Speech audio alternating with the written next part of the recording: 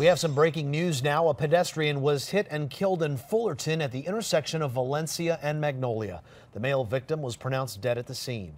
Witnesses say the man was crossing against the light. The driver stopped and Fullerton police are now investigating.